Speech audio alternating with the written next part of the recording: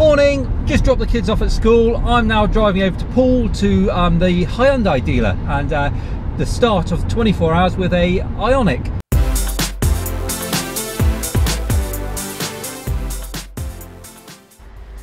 Right, so here it is. Um, before I get going, and obviously I'll talk you through it properly, I just wanted to do a side-by-side -side comparison with the Leaf. So here we go.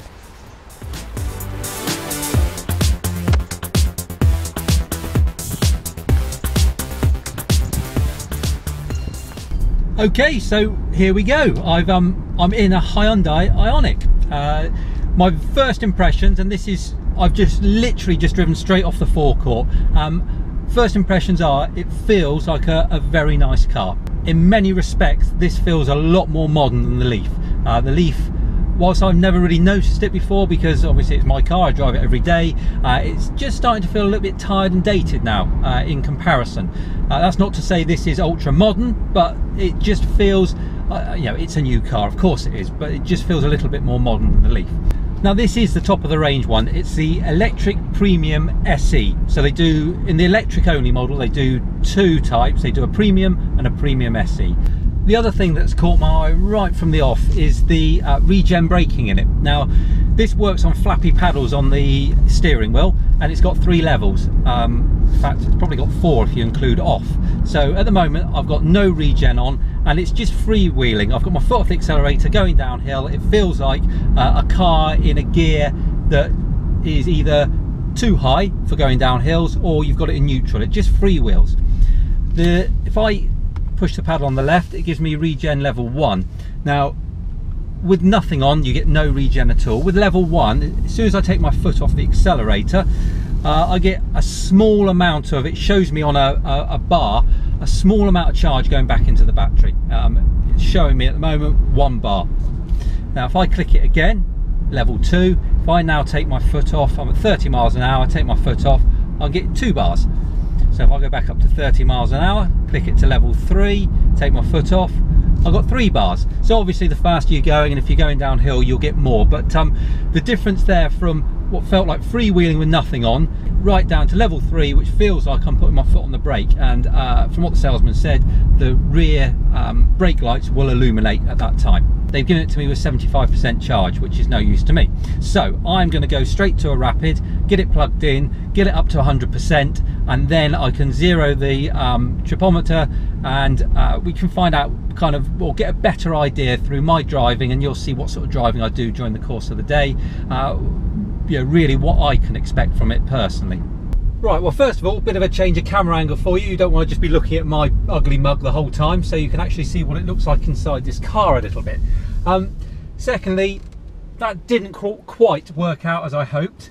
Um, the rapid charger knocked itself off for some reason, so um, I'm leaving the car park now. I've got 74 miles of range, it says, uh, with 72% charge in the battery. Now, I'm going to head to Southampton, which according to the sat nav in the car that I've set up, is 32.1 miles away. So uh, it's all dual carriageway and motorway driving. Uh, and um, well, we'll just see. I'm not going to speed, I'm not going to do anything out the ordinary. I'm just going to have a normal drive there um, to get my lunch and um, we'll see what the battery does. But so far, uh, I'm quite enjoying the driving here. The regen the level three, which is obviously the, the toughest regen, if you like, that um, that took a little bit of getting used to, but I'm, I'm kind of feeling it now. It's, it's this one pedal driving. All right, it doesn't necessarily bring it to a stop.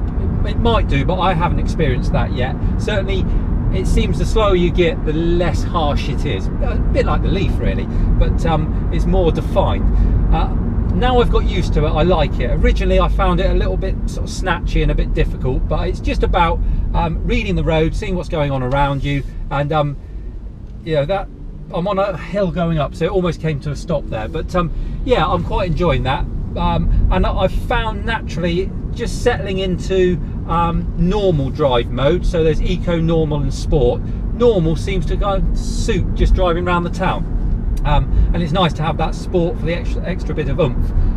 Okay, so that's interesting. Um, the steering wheel kind of took on a bit of a life of its own then. Um, I wasn't aware that this had any sort of driver assist as far as keeping in the lane was concerned. I it's got the, the beepers that warn you when you're getting towards the um, the white lines. But the steering wheel definitely took over very slightly there. I'm not sure what that was all about.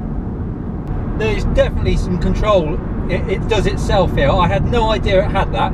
Uh, this road isn't the best one to test it on. The white lines are rubbish here and there's nothing to my near side. When I get on the motorway, I'm going to give that a proper go. Um, if, if that's something that comes in this car as standard, then that we're kind of going towards where the new Leaf wants to be with its Pro Pilot. Uh, how much assistance this has got, I don't know, but um, well, hopefully we'll find out through the course of the day. Well, we're stuck in traffic now trying to get into Southampton, but I've done just over 30 miles. So we started on, was it 74% battery, and it was showing about um, 73 miles, something like that. Uh, obviously the Guessometer now has adjusted. Now, just for kind of make sure we get the stats right. Uh, today it's 15 degrees, the roads are dry. I have spent the whole journey here, so probably 28 of the 30 plus miles have been on dual carriageways and motorways. I have had the cruise control set at 70 mile an hour. So I think, you know, from an EV driving point of view, that is the most inefficient way of driving one of these cars. And um, using the adaptive cruise control, quite often I was coming up behind lorries, it was slowing down, so I was moving out as we were going uphill. So obviously it was using a lot, lot more power. So we are now, I don't know if you can see the screen, 57% battery and 57 miles. So from my point of view, even on an inefficient drive, this will do one mile per 1%, which is far better than the 24 kilowatt hour leaf that I've got at the moment. Um, so the salesman's um, suggestion that it would do 120 real world miles I think is probably spot on. And um, absolutely if you drive it carefully around the town really efficiently there's no reason why you couldn't be pushing towards 150 I'm absolutely sure of it. So for me that's that's really positive. Now I think it's a 20 is it 28 kilowatt hour battery in here? Um, the drag coefficient of this car is something like 0.24 when you compare that to the current Leaf which I think is 0.29 uh, obviously that shows that it's a, a, little bit better battery from the 24 kilowatt hour one uh, but you are getting substantially more range from it. So um, the and that also translates into the, the noise in the cabin. On the motorway it was um, it was minimal. It was very nice very relaxing and that was really helped by all this adaptive cruise control. It was such a nice drive. I have to say the cruise control is really really good in this. Uh, it you know I barely had to have any inputs at all. Um, I didn't have to touch the pedals at any point, uh, and as far as steering was concerned, it was a nudge every so often just to let the car know I was still here and still awake. I didn't have any of the heaters turned on, um, although it feels quite warm, the sun's out behind the glass. What I have done is had the um, air conditioned seat on, which uh, I've never had before, and it's um it's very interesting. but uh, it, it, seems to work. It's really nice. It's kept me nice and cool. Um, it's uh, a pleasant experience, uh, and um, you know that's obviously going to be more efficient than having all the aircon running in the car. And I, and I haven't needed any more. As I say it's a warm day behind the glass. It's um it's served its purpose well. But that's really interesting as well. So looking at my miles per kilowatt hour in my Leaf I've never zeroed it. So it's been just running the lifetime of the car. And at the moment it's at 3.9 occasionally it drops into 4 um, in here on that motorway run which as I say was pretty inefficient as far as EV driving is concerned it's showing me an average which I zeroed when I picked the car up of 5.2 miles per kilowatt hour. I mean that's incredible. Uh, it'll be interesting to see over the 24 hours if that remains up around that level because if it does that just shows you how efficient this car is. It seems like this car has no mobile connection in it. So where the Leaf does all its updates uh, over the air and it um, it can find nearby charge stations etc etc this one if you ask it to do anything like uh, find out the traffic or the weather etc it um it says no Wi-Fi connected. So live services are not accessible. Please connect to a Wi-Fi network. So we're all parked. We're at IKEA. And um, why would I go anywhere else for lunch when there's meatballs and free coffee on offer? Well that's me refueled and um spent up. You can't walk through that marketplace without buying stuff you never knew you needed. Anyway, that's sorted. I think what I'm going to do is I'm going to uh, drive back towards home and find somewhere to stop where I can basically just go through the cockpit in the car here and um, look at all the different features, look around the car, and um, just generally have a, an all-round kind of feel for what this car's like and what it's about. So I've arrived at a nice quiet spot that I thought would be ideal just to show you around this car, sort of inside and out. And it looks like it's about to start raining, so I think we'll start with the outside. Notwithstanding the colour, which I'll be honest, personal preference isn't my favourite, but uh, you know, everybody likes something different. Um, the car itself, I think, looks quite nice. It, um, you can see where they've obviously tried to um, reduce drag and make it as efficient as possible. Uh, it's quite rounded, you can see the back of it really does sort of allow the air to um, to roll off of it without um, creating too much drag. That is one issue though, I must admit. This kind of spoiler doesn't look much from the back here, but I'll show you from inside in a bit. Um, it's like a bar right across your, your rear view mirror and makes it really difficult to see out the back. Uh, there's, I don't know if they're LED lights, but they're, you know, they're, they're interesting touches. They make it look nice. Uh, the other interesting feature for this full electric one at the front is, um, of course, there's no grille. And um, I think that just tidies the front of the car up. That makes it look quite nice. Um, you've got your LED running lights as standard. Uh, it, on the whole, I think it's it's a nice looking car. As with most modern cars, it's um it's all keyless. You have a key in your pocket, and I quite like these little touches. So you press to unlock, your wing mirror comes out. When you get into the car, I think I mentioned it before. It um it remembers your seating position. So as soon as I shut the door, There you go, my seat goes back to where it remembers. So inside the car, it's priced to a point. This isn't a premium car. This isn't a £60,000 car. So you have to expect some compromises. Uh, but you look around, you know, there's little kind of what looks like leather touches. I think the dashboard's quite nice. Um, you know, the buttons and everything seems to be quite logical and I certainly within a few minutes of getting in here I was able to sort of navigate my way around quite nicely um, so well, we'll kind of we'll start over at this side. So obviously you've got your presets for your seats. You can set those. On the driver's side, we've got uh, auto wing mirrors coming in and out, uh, and the usual array of um, windows. Passenger and driver are auto up, auto down. The, the rears aren't. Um, down here, we've got uh, the lane assist, uh, some of the usual bits and pieces you would see. Um, that is your blind spot, and this VESS is um, it, it's a noise. It's a noise that the car generates when it's going at low speed, and you can turn that on and off. Uh, and then you've got your um, opening and closing for your uh, recharging and your timers, etc. For that. Uh, when you start it up, get a nice little tune as you do in most of these um, electric cars. And, um, and and it's a nice display. So basically on the left hand side we've got uh, these bars go up and down to tell you when you're putting your foot on the accelerator how much power you're using and if you're regenning and how much. Um, nice digital speedo with um, you can obviously change how this all looks but um, it gives you an idea of how much range you've got. And then um, sort of an information window and you can change that to lots of different things and you can look through it uh, lots and lots of different information. And then on the far right you've got your uh, battery charge.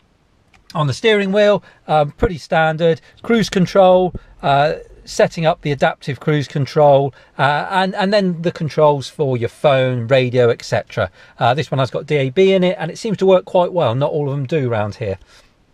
On the um, main screen itself so the EV button brings up your kind of your details about uh, your your battery and how efficiently you're driving. And um, you know, if you can go into these different things and see how quickly it's going to be to charge. So 24 minutes on a rapid, uh, 3 hours and 15 on a 7 kilowatt charger, and on a granny charger, 10 hours 50. And we've got 33% battery left and 33 miles. So there's lots and lots of information on here. Plus, you've got all your normal um, connections. You've got Apple CarPlay, you've got um, your DAB radio, FM, AM, all the bits and pieces that you would normally expect, uh, and your sat nav, which um, I have to say worked quite well taking me to Southampton. Climate control, uh, all the usual bits and pieces that you would expect in, in a car uh, like this, and um, two powers, plus a USB and an uh, auxiliary, and also under this armrest, uh, if you can see it in the light, there's another USB. So uh, plenty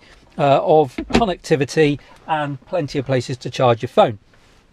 The um, there's no gear stick as such, so what you've got here is a kind of a handrest and a uh, drive, reverse, and park, and you've got neutral in the middle, and uh, in addition to that, you've got uh, the different drive modes. You've got heated seats in the front, and you've got uh, this is a nice touch, I think, air conditioned seats. It's lovely. It blows nice cool air at your bottom.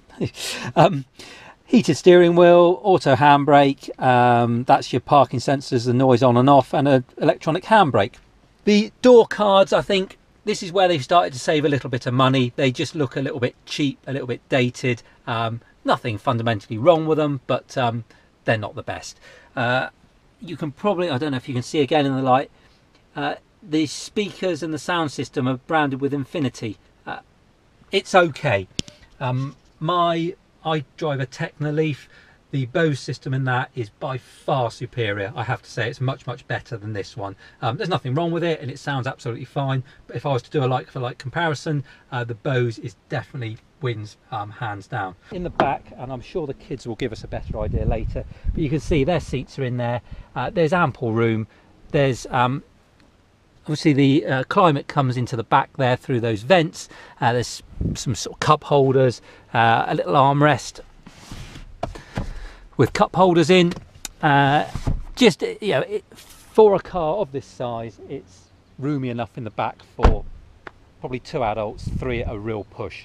So the boot is a good size i have to say. Uh, one thing i have noticed is it's it's quite i say quite shallow. It's shallow in comparison to if you bought uh, an ice version of this car. Basically the battery is underneath. So you get you get some storage in there you get some bits and pieces. There's no spare wheel but um, it's a little bit shallower than it would otherwise be. Oh! Oh! Epic! Air freshener! Air freshener in the back! Oh daddy! yes. Are we all in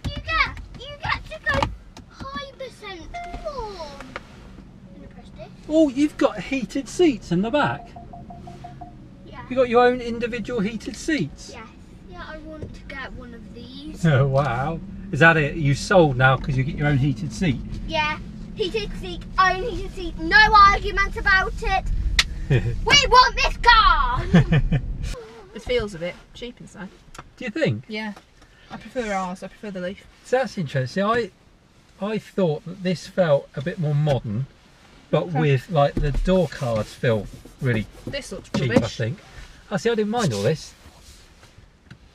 This is top of the range, is it? Yeah. Okay. It looks big when I drove home. You know, when I got in. Right. I put the leaf next to it. They're exactly the same size. The leaf is taller. Right. But lengthwise, so they look so almost the, identical. The leaf's stocky then. Well, after a long day out and about driving, I'm home now. Uh, we've just been into town and back, which meant another what 20 25 mile round trip dual carriageways and a roads. Uh, interestingly enough 13% and the low battery warning sign came on. Plugged into the wall here remember i'm a 7 kilowatt charger uh, and it's saying 13% four hours to charge. So um, as far as i'm concerned that's really really good. Good morning uh, car's been on charge all night. It's today we've got to give it back today. But first of all we are heading to do some keep fit at the gym aren't we? Yeah. right so charge overnight just having a look. Uh, we are up to well I set off 119 miles so that's at 100% battery. So based on my driving from yesterday and certainly the latter part of yesterday which is pretty normal for my everyday driving um, I can expect this car to do 120 miles as a, a normal everyday driving experience uh, with the battery at 100%. Well, there we go. I'm home now. Um, I'm back in my own Leaf, and I have to say it's really nice to be back in here. So, kind of good and bad points. I'll start with the bad points because there's not many, I'll be honest. Um, one of the big things I noticed was that spoiler at the back that obviously helps with airflow. It um it just puts a massive blind spot in your rear view mirror. Um, and when it rains, it kind of you can't see anything out the back. So that's one negative.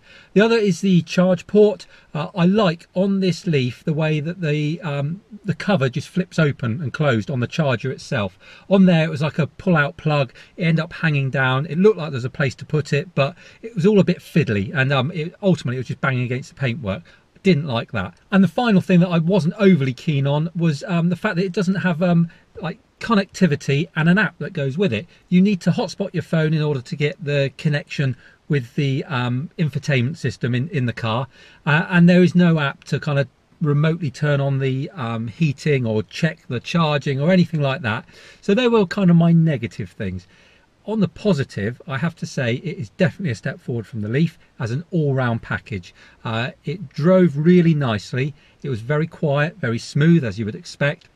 Uh, the efficiency and the mileage you get from that battery I think were very very good. Now I know I had the top of the range one but the gadgets and the um, the additional features that it had in it were far superior to this Leaf. Uh, the adaptive cruise control, the lane assist, lovely features that I would really like in a car. And um, you know, certainly going forward, whether I opt for the Ioniq or wait for the new Leaf, that's definitely features that I will be looking to make sure I have in the car because it just makes the drive so much more relaxing.